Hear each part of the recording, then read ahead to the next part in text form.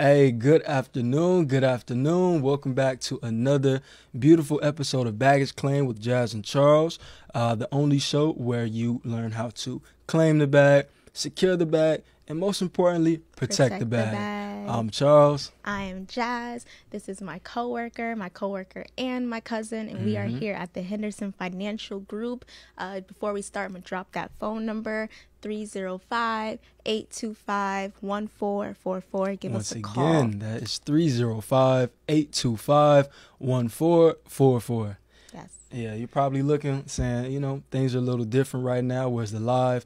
Well, we decided to pre record. You know, something came up, things happened, and we felt like pre recording would be best. Yeah, we definitely still wanted to give you guys the show on Sunday. Uh, we're really excited about today's topic, so Oh, we just decided to record it, drop it on Sunday. Same thing. Information gets to the people the same way. Uh, today we'll be talking about life insurance. Yeah, don't everybody get too excited at once. Calm oh, down, life down. insurance.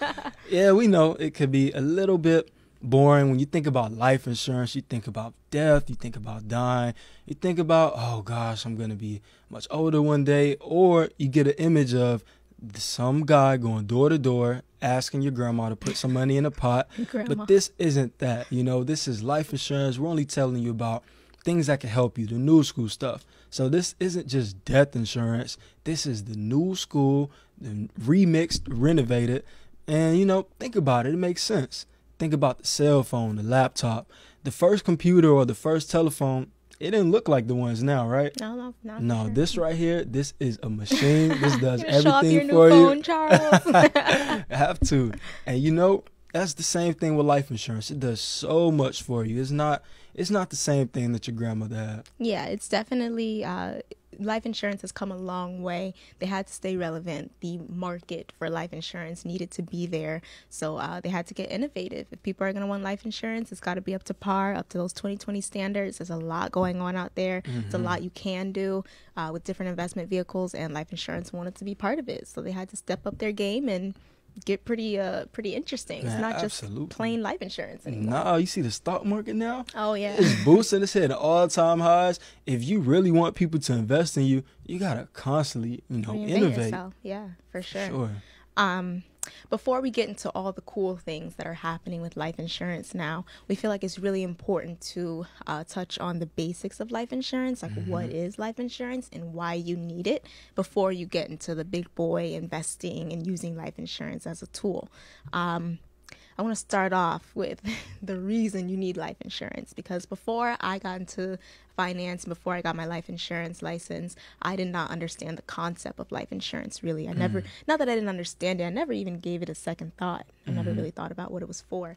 The point of life insurance is so that if something were to happen to you, let's say you're the breadwinner in your family, you're providing, you've got a job, and even if you're not the breadwinner, if you contribute to your household and you are a reason your household is living on whatever level they're living on, uh, if something were to happen to you, you want to leave a lump sum of money to ensure that your family doesn't have to switch up their lifestyle now. Imagine you've passed away, now your wife and the kids have to move out of their home they lost dad and the home you know so it's life insurance really just uh, gives your family a nice little nest egg to either keep their lifestyle or put some plant some seeds for, la- for later uh, it really is leaving your family money it's No, important absolutely. And you know, it, it's building generational wealth. You know, we talk on that a lot. Life insurance is one of the easiest ways to build generational wealth. Literally. You know, you think about it, you're putting in this money, you know, you can have a million dollar policy, $500,000, and it doesn't cost so much. You know, with life insurance, the minute that you put in the premium, the very next day, God forbid, if something were to happen to you, all of that death benefit goes to your loved ones. And now, you know, yes, you're gone, but you left a legacy. You left something to help, you know, the next generation and especially minorities. This is something that we need. You know, looking at the year 2020, who would have guessed all of this would happen, right? no no one could have ever guessed Nobody. Yeah. And so this is just this is just more of a reason why you need life insurance because tomorrow is not promised for any of us. You know, when we first heard about COVID, we thought, "Oh, that's not going to touch me. It's not this." Now you know, you know, it doesn't matter how old you are, what your demographic is, your background. It's everywhere. It's everywhere. And so if that can happen, anything can happen. So life insurance is a great, great, great way just to to leave a legacy and pass on generational wealth. And aside from uh, just leaving that money, there are only a few things in this world that are tax free. Because if we know anything about America, you go and pay taxes. Yeah. They're gonna get you, whether they get you now or later. Death and taxes Yes, guaranteed. There you go. So life insurance, the death benefit, that million dollar policy or that five hundred thousand policy, whatever, it is tax free. Mm-hmm. is money to your family, tax free. That's a beautiful thing. Absolutely. You know, you think about the Roth IRA, that's a big thing. Oh, no taxes on the Roth, that's beautiful, but you can't really touch it until you're age 59 and a half. Of course, the CARES Act changed that temporarily, but for the most part, you get penalized if you touch your Roth IRA before 59 and a half. Whereas, you know, we're not getting to the strategy as much yet, but we actually use life insurance for a lot of our clients to get them tax-free income while they're alive. Is living benefits, tax-free income benefits. while you are alive. It's not just Now that's beautiful. Nah, Yeah. it's living benefits, right? living right? benefits. They got living benefits. You got the tax-free income, and we're even here at the Henderson Financial Group using life insurance to eliminate debt. Mm. Give us a call if you want to know more about it. Yeah, for sure. And you know, life insurance. Uh, besides that, you know, we don't want to turn it into a commercial. Just give you as much information as possible. With life insurance, you can actually use it um, to take care of yourself if you get in an accident. You know, if anything happens to you, like a stroke, cancer, it takes care of that. That's called living benefits. So life insurance it has so many uses. That's why we really want to, you know, give you as much information as possible and help navigate it. Because looking at life insurance, it seems really confusing because there's so many different things to look at. But it's really simple once it's broken down.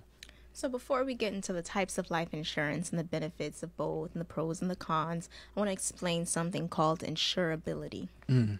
There's something called insurability. And if you think about it, a life insurance company, both of you guys, you and the life insurance company are kind of betting on if you're going to die or not. because when you're paying that monthly premium, that's just in case you happen to pass away. The life insurance company now has to pay out this death benefit to your beneficiaries. Mm-hmm. But if you are healthy, the life insurance is going to say, the life insurance company is going to say, okay, this is a healthy person. I have no problem giving them insurance or life insurance because I think they'll be around a while. So in the meantime, we'll collect that premium and they live a long time and we're, we're going to be okay. But if you're unhealthy, the life insurance company is going to say, man, that person, they ha- either they have some bad habits, they have, uh, they're not that healthy body wise, or um, their age, their demographics, so many things contribute, but mainly health. If the life insurance company sees that you're not healthy, they're less likely to want to uh, give you insurance because there's a better chance of you passing away, which means they have to pay out that lump sum, that large amount of death benefit without collecting your money for years down the line. So it's really for life insurance companies, they charge you more when they feel like it's riskier to take you on. Mm-hmm. So if you are unhealthy or even older because they feel like you're closer to death, it's going to be more expensive to get insurance. If you're younger and you're a young whippersnapper and you're healthy and you're good, it's going to be cheaper to get insurance because they feel like you'll be around long enough to pay them enough premium and they're okay. So honestly, that is insurability. That is if you're healthy or not, if the life insurance company thinks it's worth putting a life insurance policy on you. Definitely. You know, think about it from this. So, this may not seem too relatable. Insurability. A lot of young people we feel like, oh, I'm healthy now. I'm good. I don't need it. You know, I'll be okay. A lot, a lot can happen. You know, you don't know what happens. You know, when you're 20 years old, 25, you're still good. Your knees still work. Your joints are fine. They're not aching yet. And you're able to eat fast food and keep your figure for the most part. Yeah. So you still go to Chick fil A. You still get the Popeye sandwich, whatever you get. And you feel like, okay, it's good. But it sneaks up on you. Trust me, it sneaks up on you. So what you want to do, I'm saying for real, I see it every day. Oh. so what you want to do is plan for the future because no one else is going to plan for the future for you. So envision it. You know, you're 20 years old, 25, you get that job. You know, you get the new job and it has benefits. And we love a good benefits package, right? A good benefits package. Love it, love Yes. it. So you get that benefits package. It comes with life insurance. It's real cheap, and so you're happy about that. You like this job. You don't know if it's going to be long term because, you know, millennials, we do what's best for us, and there's nothing wrong with that. So let's say you like this job, you're here for a while, then you get another one, you get life insurance. And so you're going around from job to job until you find one that you like long term, and they include those benefits as well. Life insurance isn't even a thought for you because you know you have it on your job. You chose your beneficiaries, who to leave the money to in case anyone ha- in case anything happens to you, and so you feeling like okay, I'm taken care of, I'm good. But we see something a lot where people retire. They're 60 years old, 62, 65, and they come here once they're retired, and we ask them, you know, do you have life insurance? Some will say yes, some will say no, until we actually look into it and we see, oh no, your your insurance is actually expired. And so now you have to get life insurance all by yourself, but you're not 20 years old anymore. You're not 25. You know, unless you're Benjamin Button, it doesn't usually work where you're more healthy younger than you are older. Ha- have you seen it? No, it's not. It's not usual. It's not too likely. And so a lot of people are saying, you know, once they come in and we let them know how insurance works, they're like, man, I, I wish I knew. I wish I knew that's how it was. I would have got insurance for myself on the side because, like Jaz said, the older you are and, you know, the less healthy you are, the more the insurance costs. Yes, if we had a penny for every I wish I knew while I was young. I wish I knew while I was I'm young. saying. Yeah, honestly. And when you're the thing about like the hopping around from job to job, like Charles said, that's okay. You know, you want to find some place that speaks to your soul that you're comfortable with. Um, but while you're hopping around, every time you leave that job, that life insurance policy doesn't go with you, and so now uh, you you lost valuable insurability time because now you're retired from the job that you finally found and you walk away without that life insurance policy. Now you've got to go out and try to get a policy. So the solution to that in our eyes would be to keep something on the side for yourself. You can't rely on these jobs to really take care of you. No one's going to take care of you like you. So it's okay that you rely on your job life insurance a little bit, but I honestly feel like on the side, you need to have your policy, whether that's a term policy or a mm. permanent policy. Absolutely. And I'm glad you brought that up. So now it's time. You know, we let you know what insurance is all about. You need that insurance. Okay, you need insurance. You're probably like, all right, yeah, I'm young. I need it. Fine, fine. What do I need? Well, there's two different types. At its core, at its base, you know, most simplest point, there's term insurance and permanent insurance. You know, when you think about it, term just for a time period, mm-hmm. permanent the whole time. That's really what it is. It's pretty simple, but you know, it goes into it. There are some intricacies. So when you think about term insurance, it just is what it sounds like. You get insurance for a time period. It's temporary. So you could get term insurance for 10 years, 15 years, 20 years, 30 years, whatever time period. And for that amount of time, you will have life insurance. And it's pretty cheap, you know? So for that time period, that's what you have. That sounds like a gamble, right? Yeah. I'll keep paying as long as I don't die in this uh, this 15 year term. Honestly, you know, it's literally gambling. It's literally a bet. In fact, think of it like this. All the kids you went to high school with, think of who you know that took calculus and calculus too. And I don't even know what's I don't All know what's higher math. than that. All the math. Yeah, think Took all the about math. who were the biggest Albert Einstein fans and Pythagorean theorem and stuff. Those people grew up to be they went to be math math majors, whatever that is, and then they graduated and they became what's called an actuary. Now actuaries are people who are wizards, basically black belts with numbers. They work for insurance companies. Insurance companies have these actuaries literally look up statistics and based on demographic, age, all of this different stuff, they can predict how long you're going to live, when you're going to pass along, what your health are going to be at different ages. So it's you versus the insurance company who has an army of actuaries. You're thinking, I'm going to live until 80, 90, 100, and that's great. They're thinking, oh, it's pretty likely you're going to live probably till 75, 80 years old. So you get this 30 year term policy. Let's say, you know, you live it. You pass, you pass it, you live past those 30 years, everything you put in is just gone, right? Yes, that's the unfortunate part. Like it's uh, as Charles said, it's like renting versus owning. Mm. If you are renting in a place because, you know, it's cheaper and right now you can't necessarily afford a house, you do have to understand that every time you pay that monthly rent, it's not stacking up and saving somewhere for you later or just in case you want to buy the place later it's gone. It's gone to the landlord and you still have no ownership in that apartment or that condo or whatever. So it's the same concept with term insurance. It's basically renting life insurance for a little while and if you don't pass away in that time it's kind of weird because it's like i better die like if i'm paying all this money. But Mm-hmm. you don't want to pass away so you you're paying uh, and you're you're staying healthy and you're doing everything you need to do. You're putting your seatbelt on when you get in the car, Mm-hmm. but you're also paying this life insurance for this short term of time. I understand it though, Mm-hmm. just like I understand why you would rent and not buy. If you don't have the money right now to buy, you're not fully invested in a home, but you want something. I think that is a really good idea to get a term policy. If you don't have the money right now to, because permanent policies are more expensive. So if you don't have the money right now to get a permanent policy, get you some term and uh, it's just it's just good to have some sort of coverage at all times. Yeah, definitely. And you know, a lot of times we hear buy a term and invest the rest, right? You know, you mm-hmm. hear You hear that? Dave Ramsey, Susie Orman, whoever else, they'll say buy a term and invest the rest. When you think about it, most people don't do that. They buy a term and spend the rest. that's really what happens, but you know, that's okay.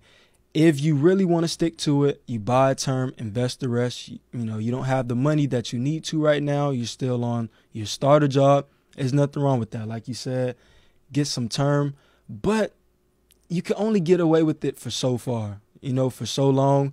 It's just like renting. You don't want to rent your whole life. You probably want to own at some point because there are so many benefits to ownership. Ownership is everything. You know, we don't want to be renters our whole lives. Absolutely. It's just not what it is. It's not where it's at because everything that you're putting in, you get none of it back.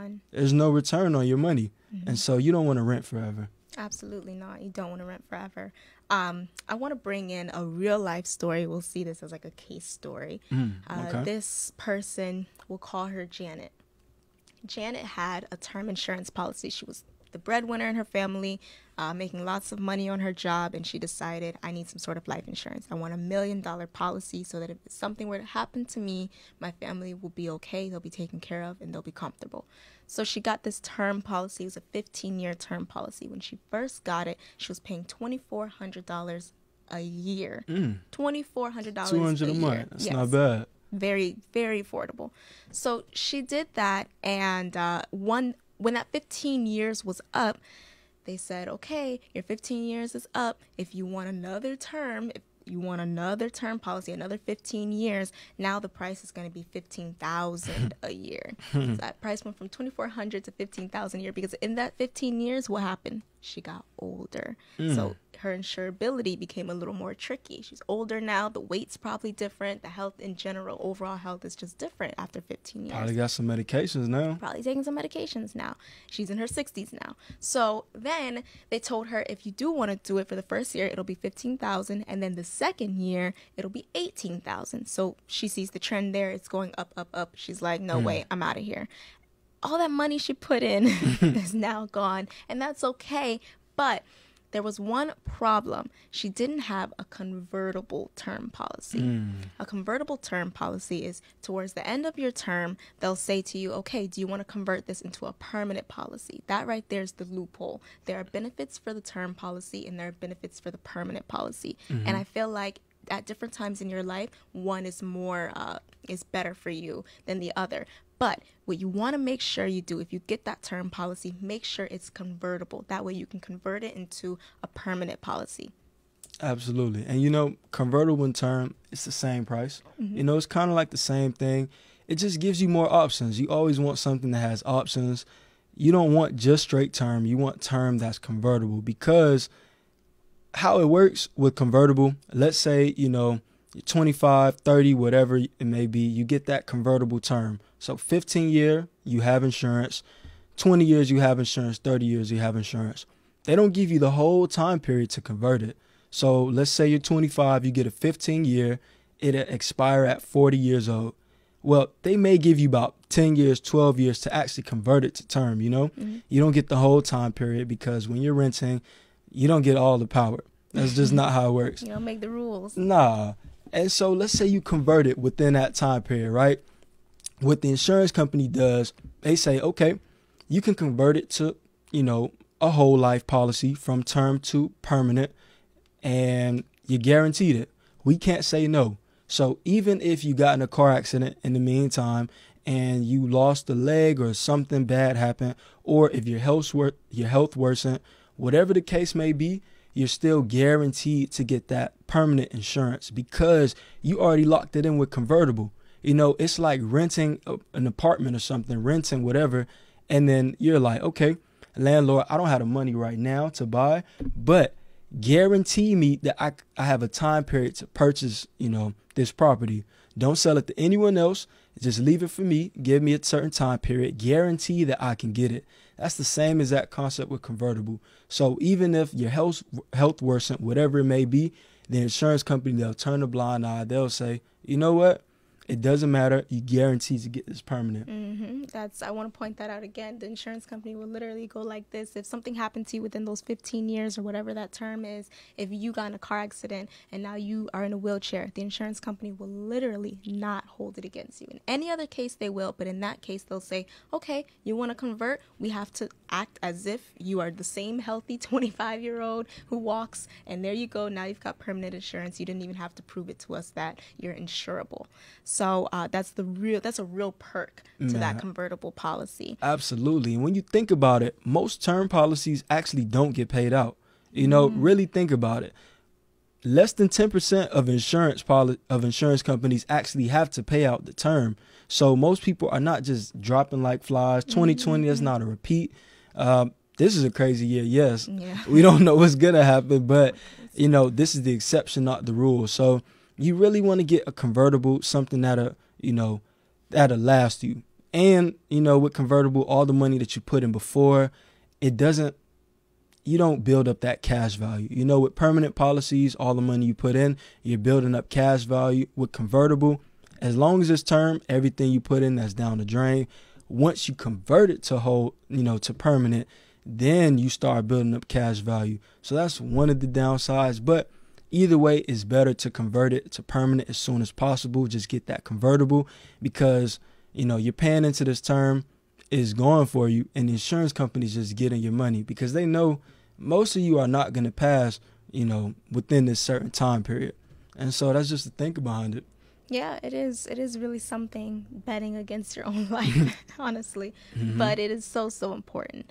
And um, all right, so let's go over uh, permanent now. Permanent insurance is almost the same thing as term. It's just longer. It's for until you die, um, unless you cancel the policy or something. But it's until you die. And with like Charles said, with those permanent policies now, what life insurance has had to do to really get innovative and stay up on the market, they have built cash values into the policies and people are using these cash values as like bank accounts and they're gaining interest on this money more interest than the bank would give you. Give us a call if you want to know more about it. And um, yeah it really is something something interesting. And what the thing is about permanent insurance is if you get your permanent policy at the age of 25 the young healthy vibrant age of 25 and they charge you a rate as if you're 25 years old when you are 80 years old, still working with this policy, 70 years old, whatever, you're mm. still going to be paying like a 25 year old. You mm. lock in that price.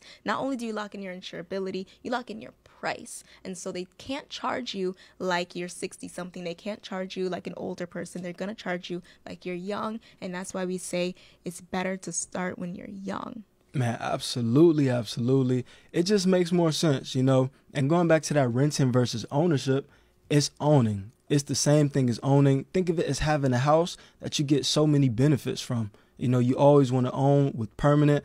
You start early, you know, you locking in for as long as you want, you know, your whole life for the rest of your life, and you're locked in at this rate. You know, it's like ownership. You could always take from the cash value, you know, tax free, you know, no taxes paid.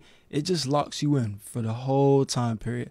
And on top of that, you still get those living benefits we spoke about. Mm-hmm. If anything were to happen to you, God forbid, you're taken care of, your family's taken care of, and you never want to be the person who doesn't leave a legacy, who, you know, leave your family to pay for the funeral without leaving anything you don't want to be that person. Funerals are really expensive.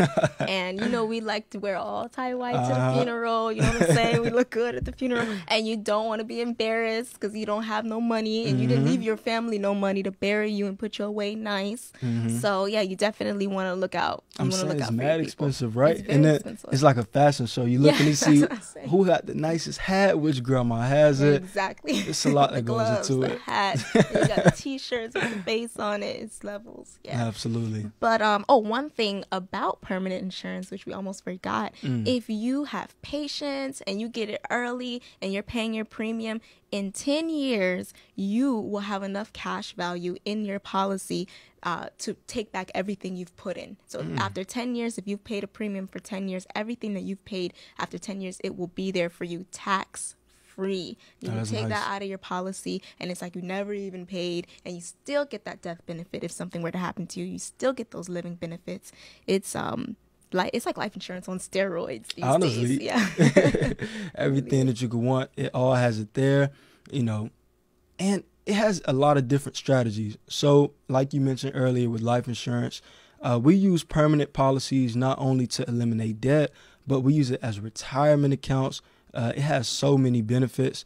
And then, you know, when you take money out of a, a permanent policy, out of that cash value, you don't really have to pay it back because the way that it goes, you know, let's say you have $10,000 cash value. Well, you may have a $500,000 policy. The insurance company's thinking, okay, you're taking this money out of your policy. That's okay. You don't have to pay us back because once you die, you know, once you go on to heaven and, you know, your soul is up with the, you know, the heavens or whatever it may be, or whatever you believe in, once you're gone, they don't have to, you know, pay out the whole death benefit to your family. So let's say you took out that $10,000, they'll just get out of your death benefit because you're guaranteed to get it. So no matter what, you know, once you take the funds out, you're locked in, you're solid. You know, all you have to do is wait for a certain amount of time, and then that life insurance is guaranteed for you.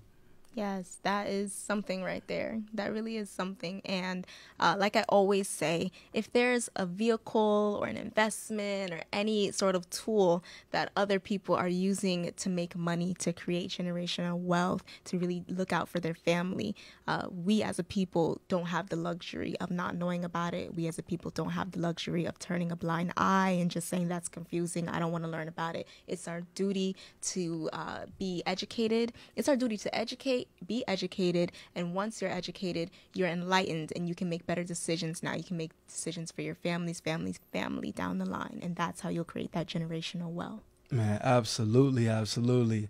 Oh man, okay, so we just wanted to give you a little bit into life insurance. Uh, we'll come back and tell you about strategies and different things you can use with it later, but we just want to go over the basics.